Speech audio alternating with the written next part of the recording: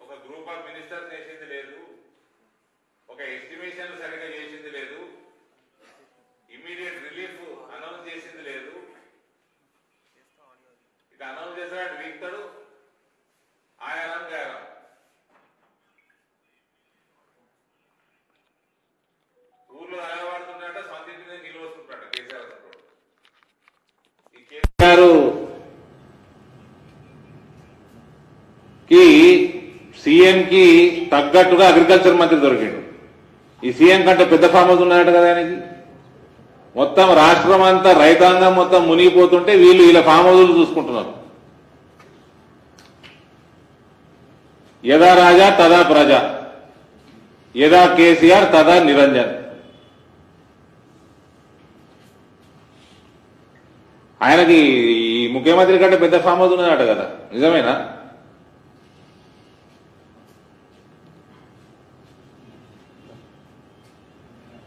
ధాన్యం పుట్లు పుట్లు పండిస్తే పండించి రైతులు ఎలా పుట్టెడు దుఃఖంలో ఉంటే ఈ మహారాష్ట్ర తిరుగుడు లేని సీఎం మహారాష్ట్ర తిరుగుతున్నాడు. అగ్రికల్చర్ మినిస్టర్ ఏమో ఆయన ఫామ్ హౌస్లో ఉంటున్నాడు. సివిల్ సప్లైస్ మినిస్టర్ బద్దం తిని పంటున్నాడు. ఎమ్మెల్యేలు ఆత్మీయ సమ్మేళనాలు. మరి రైతులని పట్టించుకున్నట్టు ఓడు మళ్ళా అబ్కి బార్ కిసాన్ సర్కార్ అట నీ మొగానికి సిగ్గున్నదా కేసీఆర్? రాష్ట్రంలో రైతాంగం పరిస్థితి ఏంది? నీ బీఆర్ఎస్ పార్టీ ఏంది? అబ్కి బార్ కిసాన్ సర్కార్ అన్న అది క్యాప్షన్ పెట్టుకునే అర్హతగా ఉన్నదా నీకు నీ పార్టీకి? ఓ పర్యటన లేవు పలకరింపు లేవు ధాన్యం పచ్చిగైతుంటే తార్పాలీలు లేవు యార్డ్లల్లా సరైన ఇన్ఫ్రాస్ట్రక్చర్ లేదు పంటను కాపాడేది టైంకి కొనుగోలు కేంద్రాలు పెట్టేది లేదు.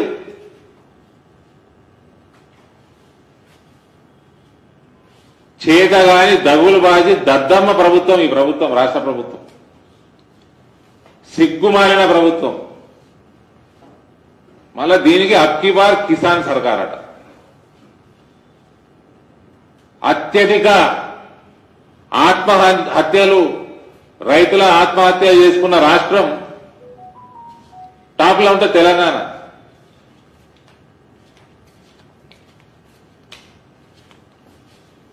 కనీసం సమయానికి డిజాస్టర్ రిలీఫ్ ఫండ్ వాడలేని దీనికి చరిత్ర కూడా ఉన్నది. మీ అందరికీ తెలిసి ఇదివరకు ప్రెస్ మీట్లలో మాట్లాడుకున్నాం. కిషన్ రెడ్డి గారు మాట్లాడినరు ఇతర నాయకులు మాట్లాడినరు నేను మాట్లాడినాను. హైదరాబాద్ లా ఫ్లడ్స్ వచ్చినప్పుడు మాట్లాడినాం. కనీసం స్టేట్ డిజాస్టర్ రిలీఫ్ ఫండ్లో అందులో డెబ్బై ఐదు శాతం కేంద్రం నిధులు ఉంటాయి. ఇమీడియట్ రిలీఫ్ మెజర్ కింద దాంట్లోకి వెళ్ళి కూడా డబ్బులు ఇవ్వలేని చేతగాని అసమర్థ సోమరిపోతు ముఖ్యమంత్రి కల్వకుంట్ల చంద్రశేఖరరావు ఈయన ముఖ్యమంత్రిగా కంటిన్యూ అవుడు అనర్హుడు.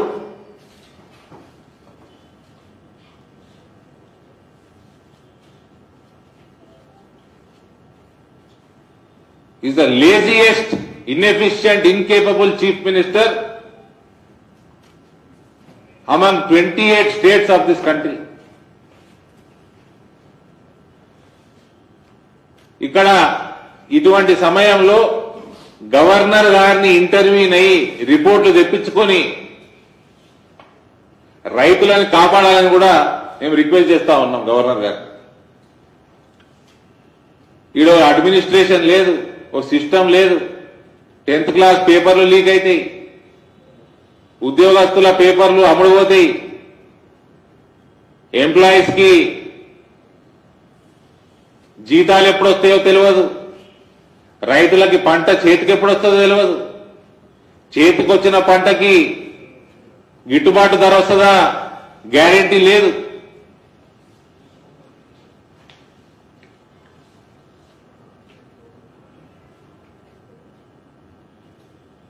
అన్నదాత గోస పోసుకుంటే మాత్రం ఎవ్వరికి కానీ ఏ రాష్ట్రానికి కానీ మంచిది కాదు ఏ పార్టీకి కూడా మంచిది కాదు. ఈ బీఆర్ఎస్ వాళ్ళకి చెప్తా ఉన్నాం. మళ్ళా సిగ్గుమాలిన తన తనానికి పరాకాష్ట ఏంటంటే అక్కి బారు కిసాన్ సర్కారం తిరుగుతున్నాయి దేశం మొత్తం.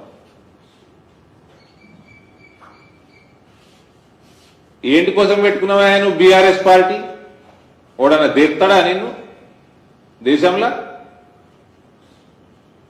బిడ్డని కొడుకుని కేసులకెళ్ళి కాపాడుకుంటానికి ఈయన ఏదో అడిమారి గుడ్డి దెబ్బ టైప్ పార్టీ పెట్టుకుని దేశంలో ఏదో ఏద్దాం సర్కస్ అని తిరుగుతా ఉన్నాడు. మొత్తం రాష్ట్రాన్ని గంగల కలిపి.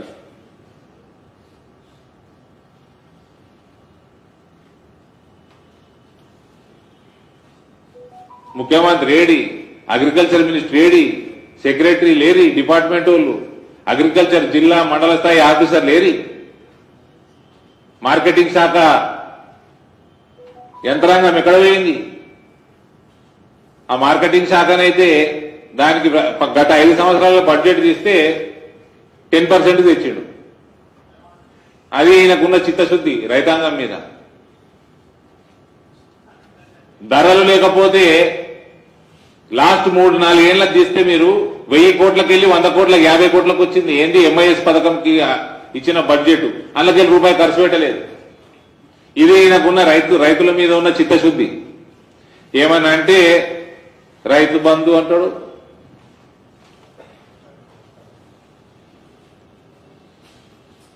రైతు చచ్చిపోతే రైతు బీమా అంటాడు. ఇక రెండే ఇదేనా? అక్కి వారి కిసాన్ సర్కార్ అంట. నీ బొంద సర్కారు నీ భోగే సర్కారు.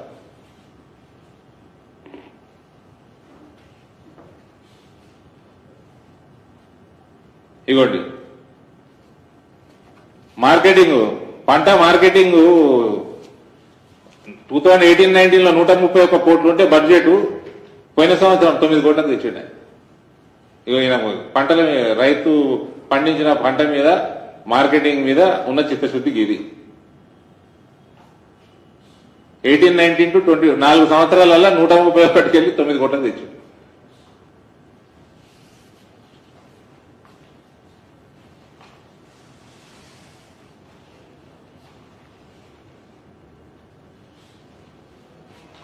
వీళ్ళు చేసిన రుణమాఫీ ముప్పై ఐదు లక్షలు ముప్పై ఆరు లక్షలు ఉంటే రైతులకి ఎలిజిబిలిటీ ముప్పై ఆరు లక్షలు ఉంటే ఐదు లక్షల మందికి రెండు ఇన్స్టాల్మెంట్లలో ముప్పై ఏడు వేలు ఇచ్చింది ఆ వేరే వాళ్ళందరూ కొత్త లోన్లకు కూడా ఎలిజిబిలిటీ లేదు వీళ్ళకి.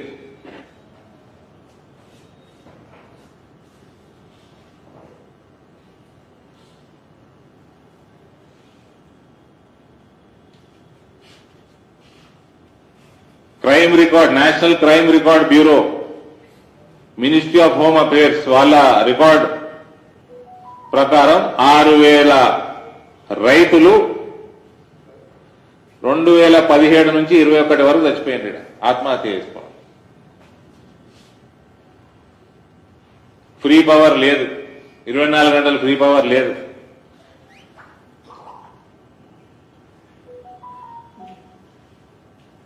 తెలంగాణ సీడ్ బౌల్ కాలే కానీ ఆంధ్రప్రదేశ్ అవుతున్నది.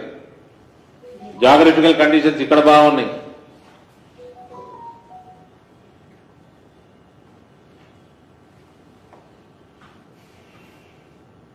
భారతీయ జనతా పార్టీ రాష్ట్రాలల్లా రైతులకి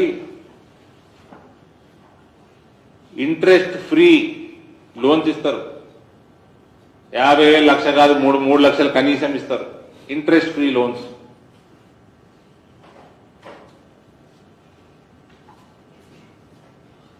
ఫసల్ బీమాల రైతు కట్టేది ఒకటిన్నర శాతం రెండు శాతం ప్రీమియం. మిగిలిన తొంభై ఎనిమిది శాతం గవర్నమెంట్లు కడుతుంది. సెంట్రల్ స్టేట్ కలిసి కడతాయి. ఈయనకు ఏం రోగం? ఏం రోగం వచ్చింది కేసీఆర్ నీకు?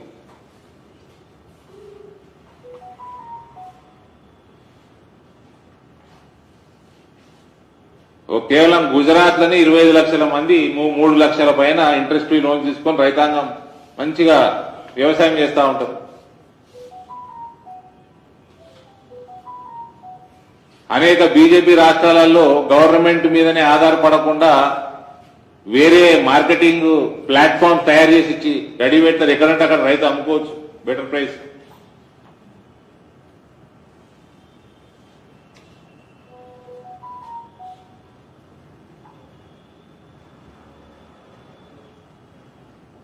పంట మార్పిడి చేస్తే మధ్యప్రదేశ్ ప్రభుత్వం ఇన్సెంటివైజ్ చేస్తుంది రైతుల్ని. ఎంఎస్పి పంటలకేంటి పక్కకు జరిగి వేరే పంటలు చేస్తే దానికంటే అదనంగా బెనిఫిట్లు వచ్చేటట్టు ఇన్సెంటివైజ్ చేస్తారు బీజేపీ ప్రభుత్వాలు.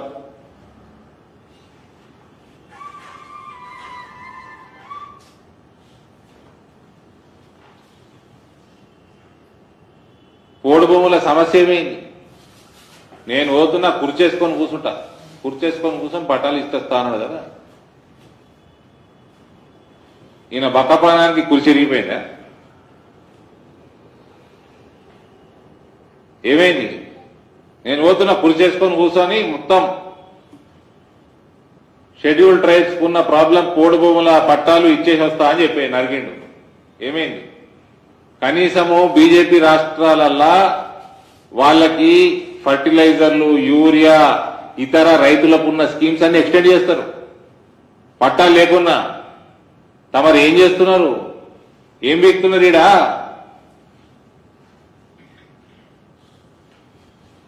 అన్ని సబ్సిడీలు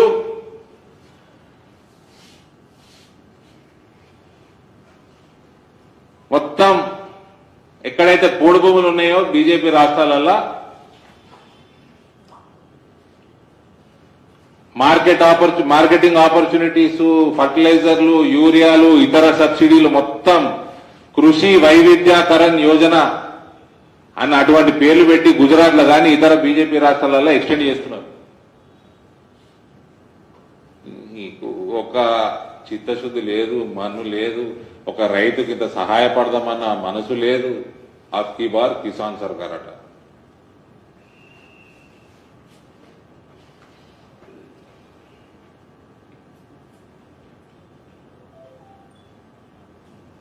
జైలు సర్కార్ కాదు.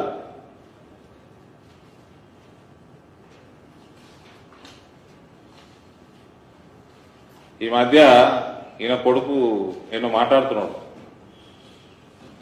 ఎన్నో మాట్లాడుకుంటా ఇలా చుట్టమూలలో సర్పంచ్ అట అది మండలం ఉన్నది ఏంటది ముస్తాబాద్ మండలట మోహన్ కుంట మోహిన్ మోహిన్ కుంట. సిద్దిపేట జిల్లా. ఆడనట ఇలా తాతను వాళ్ళు గోపాలరావును ఉండేనట ఆయనట అమ్మేసుకున్నట్టున్నాడు. వీళ్ళని చదివిపీనికి చదివిపోయినకి వీళ్ళు ఎగబడతారని చదివిపీనికి అమ్మేసుకున్నాడేమో. ఈయనకట సెంటిమెంట్ పొద్దుట అది కొంటున్నాడట. ఆ భూమి మళ్ళీ కొనుక్కుందామని అలా సర్పంచ్ అలా ఆంటీ ఉన్నదట. అలా ఆంటీ అనుకుని చెప్పిండట ఎవరు? చిన్నోడు. ఈ కేటీఆర్ రాముడు. చెప్తే వాళ్ళ అంకులు పోయేటట పోయి రేటు కనుక్కొని వచ్చిందట. రేటు కనుక్కొని వచ్చి అరే రాము నీకోసము డిస్కౌంట్ ఇస్తాడట రా వాడు? అన్నట ఎవడే వాడు అంత మంచోడు? అని అడిగిందట. వాడు హైదరాబాద్ వాడు.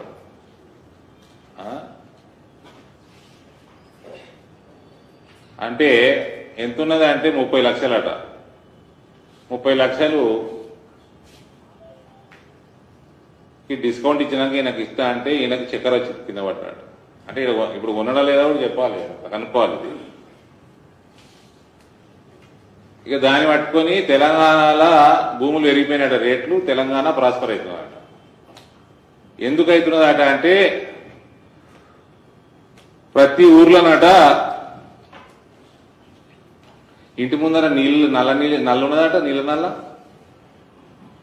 ఊర్లోనట పార్క్ ఉన్నదట ఊర్లో వైకుంఠ ధామం కట్టినట హరితారంకి చెట్టు పెట్టిందట. ఇంకేం పెట్టిండు నల్ల హరితారము వైకుంఠధామము పల్లె ప్రకృతి వనము డంపింగ్ యాడట ఇవి పెట్టినందుకట రేట్లు వెళ్ళిపోతున్నాయట ఇంతకుముందు ఎవడన్నా మన ముత్తాతలు చచ్చిపోతే ముర్ల పడేద్దామా? బొందలగడ్డ అందరు ఊర్లల్లా. ఏమందరు? బొందలగడ్డ అన్నదానికి వైకుంఠధామం అని పేరు పెట్టింది. దానికి గులాబీ రంగు వేసి. ఇవి వేస్తేనట రేటు పెరిగిపోతున్నాయట ఏ రాష్ట్రంలో పెరుగుతలేవట ఈయన దగ్గరే పెరుగుతున్నాయట.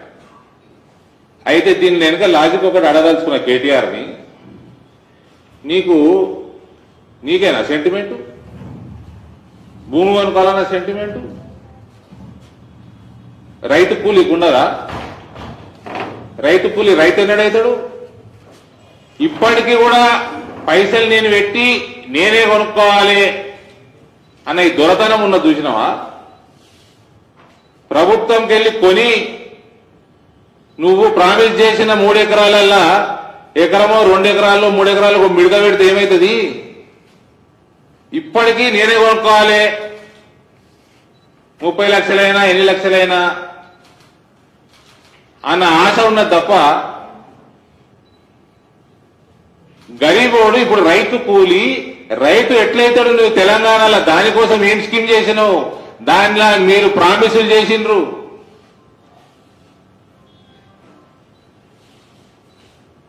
మీ అయ్య అసెంబ్లీలో మస్తాలు మాట్లాడిండు.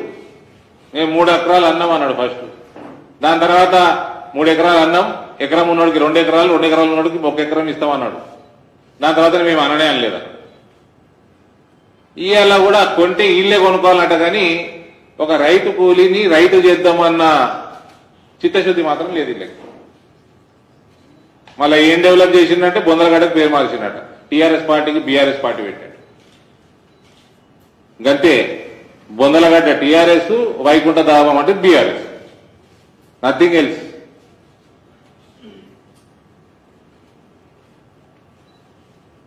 ఈ తక్షణమే తెలంగాణ రాష్ట్రంలో గత తొమ్మిది సంవత్సరాలుగా ప్రకృతి వైపరీత్యాల వల్ల నష్టపోయిన పంటలకి రైతులకి రూపాయి సహాయం చేయలేదు.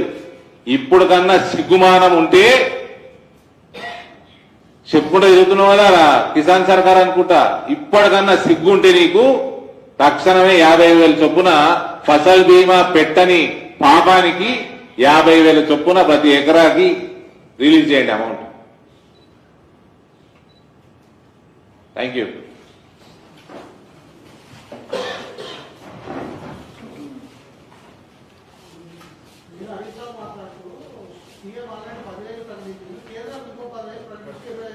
నా- ఆ బేకోఫ్ గారికి చెప్పాలి స్టేట్ డిజాస్టర్ రిలీఫ్ ఫండ్లో డెబ్బై ఐదు శాతం ఉంటాయి. అందులో వాడమనుండ్రి ఈనాటి వరకు వాడలే ఎట్లా వాడాలన్నా కూడా తెలియదు వెదలకు.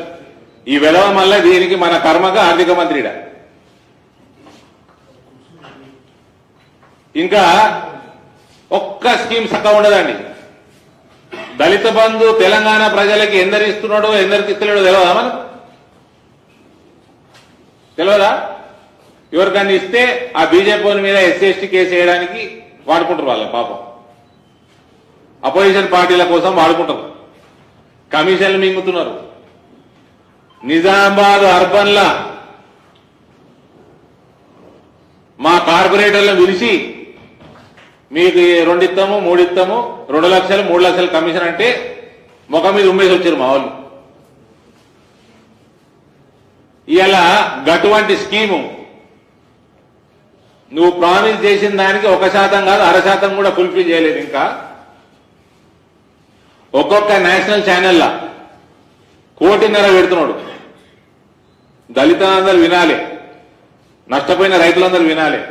అడ్వర్టైజ్మెంట్ కోసము ఇండియా టుడే టైమ్స్ నౌ ఎక్కడెక్కడ నేషనల్ ఛానల్స్ వల్ల పది రోజులకి వంద స్లాట్లు మాట్లాడుకొని కోటిన్నర ఒక్కసారి చూపిస్తే లక్షన్నర రూపాయలు. మళ్ళీ డిస్కౌంటెడ్ రేట్ అట. వాడు కూడా రాముడికి ఇచ్చినట్టు డిస్కౌంట్ ఈ సర్కార్ ఏదైనా ఇచ్చుకుంటే ఛానల్ ఇస్తాయట డిస్కౌంట్లు డిస్కౌంట్లు ఇయ్యంగా ఒక్కొక్క ఛానల్కి పది రోజుల కోసం. అంటే మళ్ళా పది రోజులు రెండు నెలలు అయ్యి మళ్ళీ పది రోజులు చేస్తారు ఈయన. అట్లా వందల కోట్ల రూపాయలు ఈయన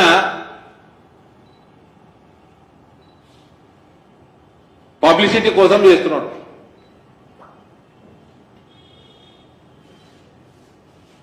అప్పులు పాలు చేసుకుంటా రాష్ట్రాన్ని. ఆ వందల కోట్లు దళితులకు ఇస్తే అయిపోయాయి కదనే?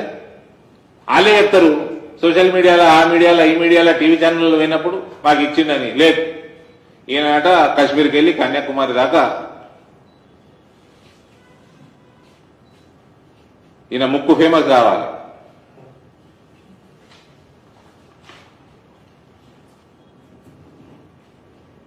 ఎంతమంది దేశంలో ఇస్తాను చెప్తారు ఈరోజు ఇక్కడ అదే చెప్తున్నా కదా ఇక ఈడ ఇప్పుడు ఎప్పుడు అది కంట ఎలక్షన్ల కంటే ముందు వేసిండు దాదాపు రెండు సంవత్సరాలు దగ్గరకు పడ్డాయి. అర శాతం ఇవ్వలేదండి జనాభాకి. అదో పెద్ద స్కామ్ చేస్తుండ్రు మళ్ళీ దాంట్లో. మళ్ళీ వందల కోట్లు పెట్టి దేశమంతా ప్రచారం. ఏంటి కోసం?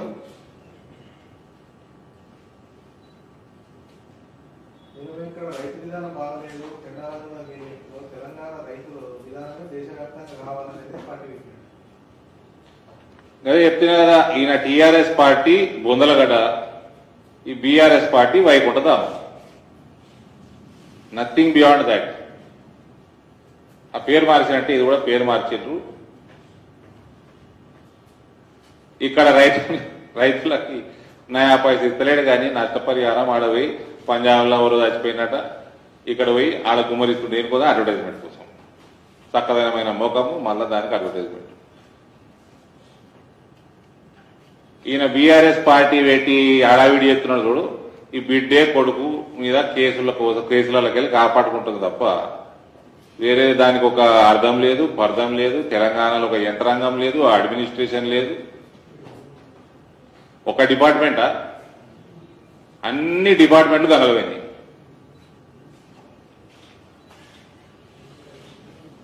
Thank you